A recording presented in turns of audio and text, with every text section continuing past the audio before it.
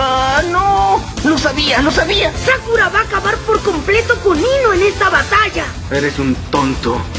¿Qué me dijiste, Shikamaru? Si tienes algún problema, adelante, porque perderás. ¿Quién te crees que eres? ¿Eso es todo?